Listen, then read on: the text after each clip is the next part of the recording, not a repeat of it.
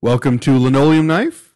We didn't do the theme music this week because people kept complaining that it was too loud and we were too quiet, and I don't know how to fix it yet, but when I fix it, we'll have music again. And when I he promise. fixes it, we'll also be in not only your left ear, but also your right Well, ear. let's let's not get crazy ahead. no, we're going to fix that One- because no one should listen to this if it's going to keep on just being in their left ear. I'm gonna fix that too, but you know, one thing at a time. it needs to be in both the ears. We're, we're getting there. This is it's a learning process. It's going to be in both your ears. and you are observing it as it happens, you early adopters of Linoleum Knife. Uh, across the table from me is Dave White, film critic for Movies.com. and that's Alonso Duralde, uh, You just- Movieline DVD columnist, and uh, uh, other things, and the author of the book. One no, the author of the book. Jesus. Have yourself a movie, little Christmas. You're the worst. You can't remember a damn thing I do. you- You, just you- cash my checks. I I cash my own checks. they go all of them go to the same corporation name if I'm not mistaken. Um and so uh, he is the author of Have Yourself a Movie Little Christmas. That's the most important thing you need to know. Available in about stores him. now. He's the author of Have Yourself a Movie Little Christmas and he is the movieline.com DVD editor. DVD editor, and every day he's writing something new about some DVD that you should at least be reading if you're not going to end up watching it anyway, because he's super entertaining and Oh, all that. Thank you. Thanks. That makes up for not remembering anything about your life. I appreciate it. So, on this week's episode, we are talking about Harry uh, Potter. Harry Potter and The King's Speech Tangled. and Tangled. So, it's going to be that kind of episode. Fascinating. Yes. Uh, so, okay, so Harry Potter and the Deathly Hallows Part 1. Not in 3D. Not in 3D. Which That's really the only thing that mattered to me. It was not in 3D. I'm sick of 3D. I'm sick of 3D.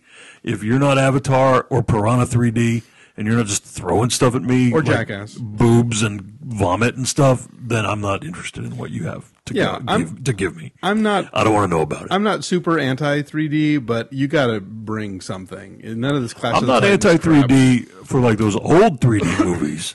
Like No, when no. we saw the French line that Right, time. right. That was awesome because Jane Russell comes on screen and she shakes her boobs right all over the place. And that's in 3D. And they, that's how they sold the movie. Like they didn't care back then. They weren't pretending it was art. They were like, come see Jane Russell's boobs in 3D. And people totally did. I believe the tagline on the poster was "JR in 3D. She'll knock both your eyes out." He's not making that up. Yeah. That's not like a, that's not a joke. That's a real, that really happened. Um, cause didn't they have the poster up with that on it? yeah, no, I, I have it. I have it in my like amazing 3D book. It's a Yeah. real thing. Yeah. Yeah. Uh, and and actually, the, the the French line in that same series, of the Egyptian, we also saw the stewardesses, which was not nearly. You as, saw the stewardesses. Oh, you didn't go with it. I don't, It was probably late at night. That's I don't true. get it up. was. I don't was. stay up late You're at right. for movies. I went to see the stewardesses, and it was not nearly as sexy as the French line. So The last midnight, I stayed up for a midnight movie. When was that? When was the last midnight movie I stayed up for? uh, probably Oh. the Human Centipede. Trash Humpers and Human Centipede double feature. Yeah, you would. I stayed up for that. you would. Well, that was you got it. That's worth it. Take a long nap in the So we're afternoon talking. for that. We're talking about Harry Potter. Remember, Oh yeah, Harry Potter, not in 3D. but um, uh, but you know, you know, what, what is there to say at this point? You are either down for whatever they want to give You you, in or you out? or yeah, you don't care. So you know, take your pick. Uh, I'm in. I like these movies. I think they're really entertaining. I read the books and all. Um, my, uh, you know, I, I think what this movie does well, it does really well. I mean, all the sort of action stuff. And What the, does it do well, Alonso? Well, you know, the, I think we've really kind of gotten to know and care about these characters over the years, and so it's it's sort of nice to see them kind of, you know, coming into full flower as adults and sort of reaching the end of, of this story. It's weird that they all have five o'clock shadows now, though. Well, That's- you know, that's what happens. They were little, weren't they were be- little wizards, Yeah, and now they're not. They're not going to be eleven anymore. forever, unfortunately. Um, you know, it, it, it's sort of like the whole thing where. Uh, you know, in, in the James Bond movies, you know, you like there's the here's the scene where he flirts with Moneypenny, and here's where Q gives him his gadgets, and so you know, there's sort of like there there's And here's things- where he has sex with that chick, and then she dies. Exactly. There's there's things in each of these movies that uh, that are just sort of satisfying to get to. Although this one, obviously, like they're not at Hogwarts, so there's none of that stuff. Um, there's Hey, here's my question about that. What's that? About it not being at Hogwarts. Yeah. Does it go to Hogwarts in part two? Um, It has to, right? Yes, it does. Because here's the thing: they've been marketing this movie with this big giant billboard everywhere that's got Hogwarts on fire. Okay, that's that's going to be in Deathly Hallows Part Two. I Well, then why is it on the part one poster? beats me? It's not on the poster, but there's this big, big billboard ads all over the place. It it tested well. With, Hogwarts on fire. it tested well with focus groups. I don't know. I kept waiting for Hogwarts to catch on fire in this one. That's my one complaint, really. No Hogwarts I was hoping fire? to see Hogwarts on fire. Well, be patient. July. My my only That's beef- when he kills Voldemort too. Right? yeah. Shh. What? Oh yeah, I'm sorry. Also, James Franco cuts off his arm. And the Titanic sunk when it hit that iceberg. Um, my only my only beef with Deathly Hallows was kind of my same beef with the book was that was like I remember thinking that the book could be hundred pages shorter if there wasn't so much camping in it, and it's all in the movie too. That was my favorite part. Well, The long 40 minute, five, 45 minutes camping because sequence. it felt like a Claire Denis movie all of a sudden. Sofia Coppola. Oh yeah, there you go. Claire, you no, no, the Claire Denis movies are not what you think Okay, they are. okay. we'll have this whole discussion about Claire Denis movies. Maybe after you've seen one, Okay, I admit she is. films she, are my favorite director. she is. She is one of my lapses of, of, of film keeping up with. I've never. I mean, all right, it's not the end of the world that you haven't seen any Claire Denis movies. Claire, the name Claire Denis, D E N I S. If you're really into stuff that's awesome, go to Netflix, put her name in it, watch anything that she's made. They're astounding movies. And she's been making movies since what, the 90s, I guess? Yeah. late '80s, I think. Late 80s? Wasn't well, like Chocolat or Or I'm thinking early 90s. Did uh, who's I could be wrong about did she do? Is she 36 Fillette or Chocolat? One of those two, or are they- Chocolat. Not the crappy one. Not the bad Chocolat. The Not the bad one with Johnny Depp and Juliette Yeah, no, the good Chocolat. The That- good one, The good yeah. Chocolat. I think was like 89. Maybe. Well, whenever it was, she's been making movies for the past 20 years or Yeah. so. And um, she's fantastic. And she's one of my favorite directors. And the middle of Harry Potter is nothing like any film by her. It is But like a- it is like a it's Sofia Coppola Coppola movie. where like it's they just sort of Sofia Coppola plops down a 45 minute short film in the middle of the Harry Potter movie longer because it's like everyone's teenage torpor, you know, like they're sitting around in the woods talking Cold. and looking sad and having squabbles and slow dancing to Nick Cave songs and uh which was not in the book apparently, but is in the movie.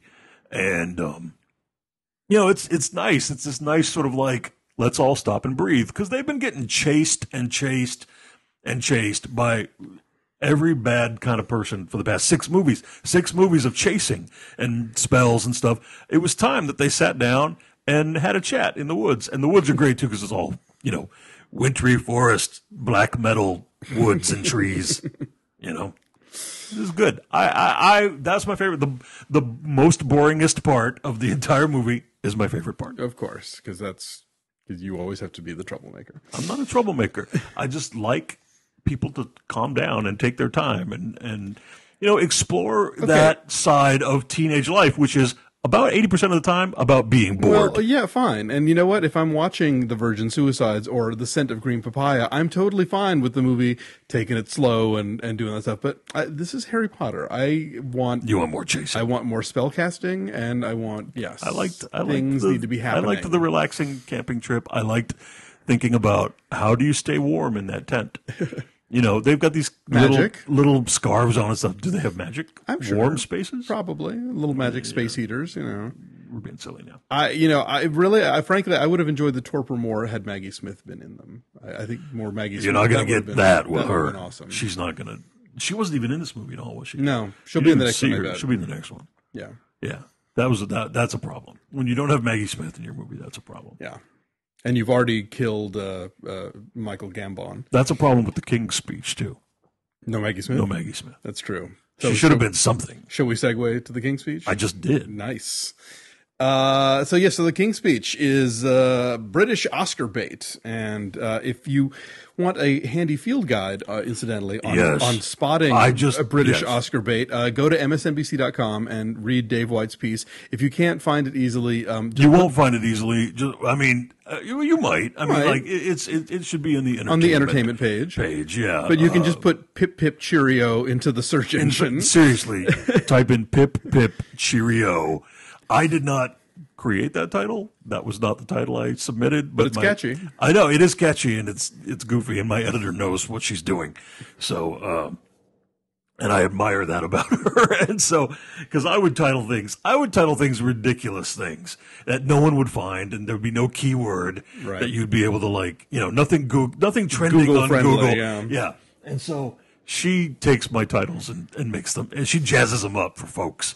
so, but I wrote this piece for MSNBC about all the movies that are from England that wind up getting nominated for Oscars, like how you can spot them and what they've got in them, like people, Tweed. people on big estates and cozy things like cups of tea and people dressed in tweed and and I- and and Fox hunting. cliche as it might be, these really are the things that you see in the British Oscar films. You don't see Fish Tank being nominated for Oscars. Harry Brown not that is going to not be what a Harry Brown contender. is. A, is a goofy But exploitation. Michael film. Caine's really good in it. Eh, It doesn't matter. Harry Brown Michael is not. Caine no one is, is taking. really good at it. No one is going to take Harry Brown seriously for anything. Not even a Michael Caine performance. That was a crazy Death Wish exploitation movie. I had a good time watching It it, was real fun. but it it's all about bloodshed. Well, but you know what? So was Gran Torino. Uh, there was something deeper going on Ah, okay. Torino because that was Clint. Because he learns to love Asians. Clint Eastwood. The Hamon. Don't uh, don't mess with Clint Eastwood until you see Hereafter. Which okay, I have That's to tell. wacky. I have to tell- Hereafter's wacky. I, have know to- we're digressing. I have to tell where yeah, this is a lot of digressing this episode. I have to tell the story. Dave White calls me from the press screening of Hereafter and says, "Okay, late in the run of this movie, when like no one's in the theater, we got to go and we'll make sure not to sit anybody near anybody because." Holy shit, you have to see how insane this movie is. it's pretty wacky. And so I can't not wait. it's meant to be this, I guess, Serious. serious meditation on the afterlife and what happens when you die and mortality and all that stuff. And it's seriously, it's grandpa telling you a story about heaven and then giving you a bag of Werther's originals. That's this whole movie. But we're not talking about that. We're talking about King's Speech. The King's Speech. Tell them what it's about. Uh, okay, so Colin Firth stars as uh, the man who would eventually become King George VI. And basically, it's about how he has to learn to cure his stammer so that he can give radio speeches and inspire the British people uh, at the beginning of World War II. Because they've run out of stories to tell. Yes, they, the, the They've told all the stories about royalty that there are to tell, so now they've got to the ones about the ones the people who have speech impediments. Yes, and uh, so his wife, who would later be the Queen Mum, who's played by uh, Helena Helena Bonham Bonham Carter, uh, takes him to an unconventional Australian speech therapist played by Geoffrey Rush. Geoffrey Rush. And you know, when I was in college and I took you know one of those sort of world drama courses or whatever, you learn the history of theater. You know, they they tell you there's a concept of the well-made play, Right. which is like you know it's satisfying and it you know it, it it's you know well assembled, but it doesn't really add up to much. It's not art. It's just a you know it's, an, it's a satisfying night of theater. The well-made play.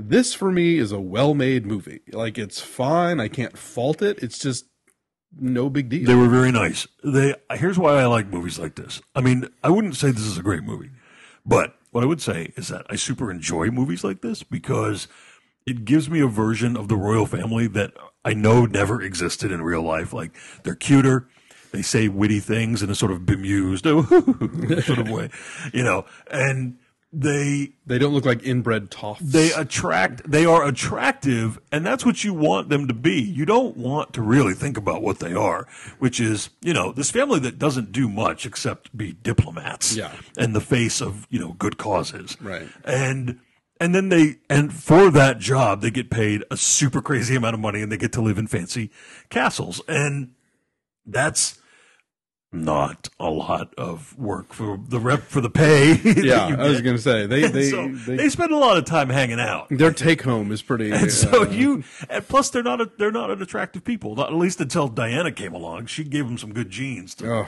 spice up that. that they needed that DNA desperately. The um, this movie is is is fine, and it's and it's the kind of film that you would take your mom to see, and she gets all you know warm feeling inside. And then there's the speech at the end of the when they're about to hit World War II, Right. is, is that last moment of innocence Yes. before World War II, and they had to become a brave people and to they had to keep calm and carry on after that. It's funny. I was, I was telling I was telling Dave that the, that's like this famous historic speech, but the first time I ever actually heard it delivered was in Hope and Glory.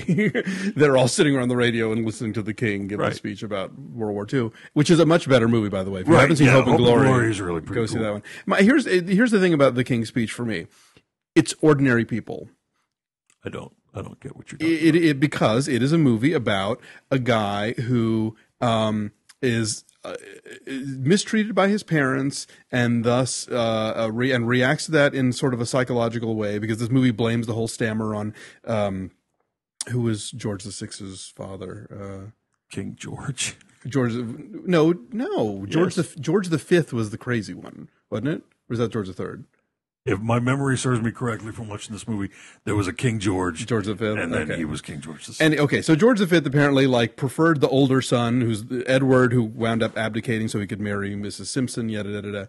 Um, and so that's why Bertie, you know, is this is he, George VI is known has the stammer, and so the whole movie is about basically the psychiatrist teaching him to love himself and you know get over his stuff. Find your voice. Yeah, exactly, literally. So it's it's it's it's like that's a line of dialogue toward the end, and King uh, Colin Firth is like, "I have a voice," and, Yeah. and Geoffrey Rush goes, "Yes, you do."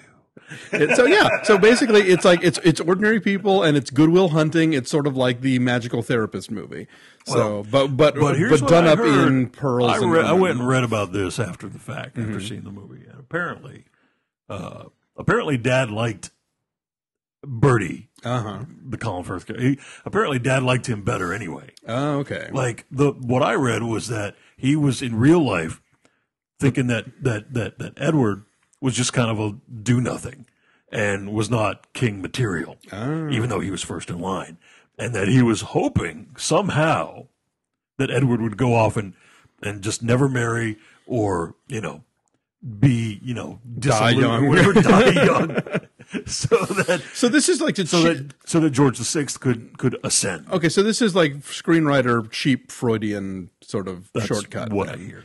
okay so this has Well, all again, I don't care. so this has Like, all the historical validity I'm of the sure other Queen Boleyn Elizabeth girl II is. I'm sure Queen Elizabeth uh, bleh, QE2 QE2. I'm mm-hmm. sure there's. she's not probably- Helen Mirren I'm sure there's not much that's really nice about her in real life. Just a guess. Yeah. Like I've never met her or anything. But I mean, she doesn't exude a lot of warmth Yeah. Uh, but you know what? You see the Queen and Helen Mirren is there, and, and she's got her little hot water bottle in bed with her, and her husband's calling her his little pudding, and and you're thinking she's adorable. I'm, I love that Queen. she's my grandma She's my grandma, and so that's you know you want I I want them to lie to me, completely lie to me all the time. I'm never going to meet these people. I got no dog in their hunt. I don't live in England. You know, I don't have to. and they have any- literal dogs in I don't have to pay any taxes to prop prop up that monarchy. Make movies where they are as cute as they can be. I'm satisfied. And the uh, uh, and I forgot what you were saying just now. I made the joke that I said that this movie has all the historical validity of the other Boleyn. Oh, girl. right. I knew it was something you said that was funny. Other Boleyn Girl, which is a crazy, Oh, crazy movie. man. And a terrible movie, but Yeah. one that you need to see. Cause I never it's saw the Tudors, but I got. If you've ever seen old episodes of like Dynasty or Flamingo Road, that's the other Boleyn Girl. Like, there's really a scene in this movie where I think the Queen of Spain, who's about to be beheaded or something, I, I don't even remember, but like uh, Natalie Portman and Scarlett Johansson sort of heave past her, and and she's like, their "Oh look, way." the Boleyn whores," and that's just one moment in this movie full of people's bodices being ripped, Yeah. and and the humping, and again, super attractive royalty that never existed. Yeah, yeah. yeah. Uh, and speaking of um, princesses, uh, okay, that wasn't as good a People segue are to as think yours. that we actually sit around planning segues. No, I think it, obviously we didn't plan that one because it was terrible.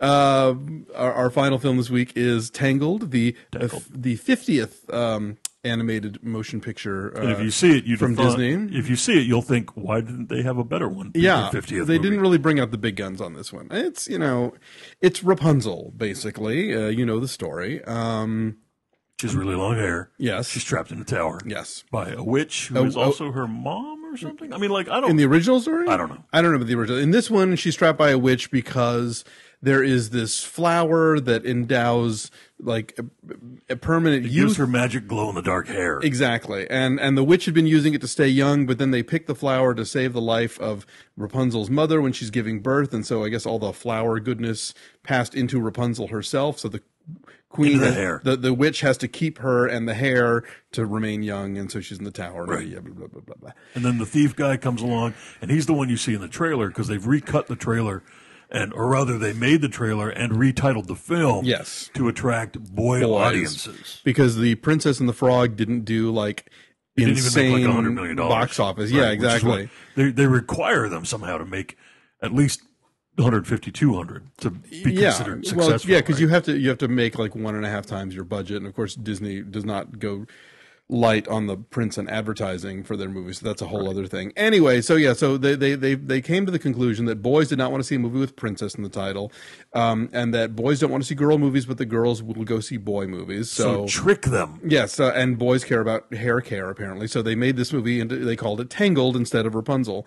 And um Uh, you know, I honestly don't remember large chunks of it. Like I like the horse within an I hour, Like the lizard. the horse and the chameleon were the best characters, and they don't talk. Chameleon.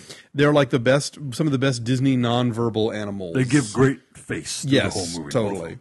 Um, but yeah, but the story is just kind of like it takes forever to get going. Like the first act is unbearably just get on with it. You Once know? stuff starts happening and the action really kicks in about halfway through, it picks up. then you're uh, then you're you're more on board. But boy, it takes a while to get that going. And you, you know, you by the end you're rooting for them. You want the happy ending to happen and for the bad people to be punished and stuff. But it's no Into the Woods. I'll tell you that much.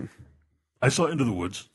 You saw Into the Woods Junior. I saw a middle school production. of Yeah, Into the that doesn't count. one of our friends, one of our friends' daughters was in a middle school production of Into the Woods, and I went to see it. Which is basically That's act, as close as I get to it's- stage musicals most it, of the time. it's it's Act One of Into the Woods and Children Will Listen. Basically, what children will. That was a That's song. a song, right? yeah. And then there's a whole second. is that in the part two? Yes. Is that in the second half? Yes. Because I think Into the Woods Junior is just the first half of the real. That's, that's what I just said. Oh, you just said it's that. Act One, I was and thinking it's about Children. Will Listen. Yes. Okay. the- So you The should minute see. you start talking about stage musicals, I you should see. You should see the whole thing sometime. It's real good. I was happy with what I saw. No. it was just the right length. But there's more. And the there's kids a were great. more. The funny they thing is, the, the, nice. the first time I Was watched, Kate was the witch, right? uh, yes, Uh, Our friend's daughter's named Kate, and yes, she's the witch. The the first time I saw Into the Woods on, I saw it on video because PBS did like the original Bernadette Peters version. about this story. No, this is a funny story. All right. I I stopped watching after Act One, thinking that I had seen the whole thing because there's a Why? happy ever after at the end of Act One, and then all of Act Two is Was what this on a VHS tape? Yes. Did you pull the tape out and notice that there was still half the tape left? that Well, it was it, it wasn't like a commercial tape. Like somebody had taped it for me, so I didn't know what speed Oh, they taped see, it at or whatever. So I, you know, and so then there's a there's a whole act two that is when what does the happens story get funny? after. Oh God, I'm just saying that for a long time I was as stupid as you and thought that the first half of the play was the whole thing, but then I learned better that it was not, and you need to learn better also. also, you need to shut up. I'm not listening. This children is not listening to you. no, this child, this chilled is not. So yeah, so so Tangled. Is there an embargo on this? tangled. No, we can talk about it. We can talk about it. Yeah. The embargo means that we are forbidden. that we're forbidden to talk about it, tweet about it, Facebook about it, Yeah. and most importantly, Review write, it. write a review about it um, until the day it's released. Like that's the new publicist definition of the word embargo. Yeah. Like you can't, It's not like the UN in definition, you Right. know, where you can't send. nor, and then usually just send an email to us. That it's just Yeah. like you reviews embargoed until opening. Day. Although recently, uh, Dave and I both had to Yes. sign a paper. we had to each of us sign our own individual um, promise Document. not promise not to tell document about a movie that we recently saw. yes, the that opens on the twenty fourth. So next week on the Linoleum podcast. that movie. Oh my God, are we going to talk about that movie? Because we found out about 10 minutes in why they made us sign that paper. yeah, they should have made us sign the paper that said like you'll never ever We'll talk never about discuss this this movie. movie, ever again. Don't ever review it because ooh, wow. They knew what they had in their hands. That's what the paper, that's, Yeah. that paper was like, Yeah. how do we control this? Mm-hmm. And because I can't imagine a single person having a good time watching this thing. I, no, no. It's of it is any an of any abomination. age. This yeah, I mean, I, we just narrowed it down. It opens this week, so that people can just guess Yes. to themselves privately. Yes, but you'll know next week. You'll know when next you, week when you when come we- back when for we do our next episode. again. Yeah, because whew, it's I, I passed him a note in the middle of it, and all I wrote on the note was "Please kill me." and it's not even the kind of movie that's bad, and you're like, "Wow, this is so great." I mean, this bad movie sucks so hard that I can't wait to tell everyone about how sucky it is, so that they can all go see it. This is bad, like where you feel your soul draining out This of the base of your spine. This just hurts. This one just hurts. It's not like I mean, curiosity seekers are going to go, "Wow, I can't. I got to go. I got to watch this." But when you do, just you know, wait till cable. Don't pay yeah, money. No, no. Just satisfy your curiosity later when Yeah. it hits cable. You'll find out which one it is later when we talk about it again. And shockingly, we're coming up on our half hour mark. Are we? Yes, We're done. All of our digressions. So We um, can't. we'll plug your thing. yes. Uh, And then we got to give. We have to say hello to somebody. Yes, we do. We do. But first, um, just yeah, reminder as Dave mentioned at the top of the show, uh, my new book, uh, "Have Yourself a Movie Little Christmas," is now available at uh, stores and internet bookstores everywhere. Um, if You're you going to be on a book tour. And I am. If you are on Facebook, um, if you should go to the page for "Have Yourself a Movie Little Christmas," click like. That would be nice. Or go to the page of Alonso Duralde, A L O N S O. That's Alonso with an S. Duralde, D U R A L D E. Right, but Friend him. You will never find me. You'll find me through Via him me, on- yes. Yeah, but like there's too, too many days. Anyway, if you go to the Have Yourself a Movie Little Christmas Facebook page, you will see a list of all of my tour dates. So um, if you are in Seattle, Austin, New York, Nashville, San Francisco, Los Angeles, uh, Dallas, Atlanta, on our door. Dallas, Atlanta, or San Diego, um, or have friends that live there, um, check it out. I will be coming to those cities soon. And um, oh, look, it's our neighbor. Okay, so anyway, thank you for joining us this time. Say goodbye yet. Oh right, sorry. Yes, we have to say hello Curtis Hill. to Curtis Hill because when we were talking met- about we were talking about Hills last the other and two weeks ago, He's like, we forgot I'm to Hill mention too, him. and you didn't say my name. Yeah, so, Curtis Hill, Hey, you, Curtis Hill. you rock. We love you. Uh, you can always drop us a line at linoleumpodcast at gmail.com. We'd love to hear your thoughts. Uh, thanks for listening, and we'll catch you next time.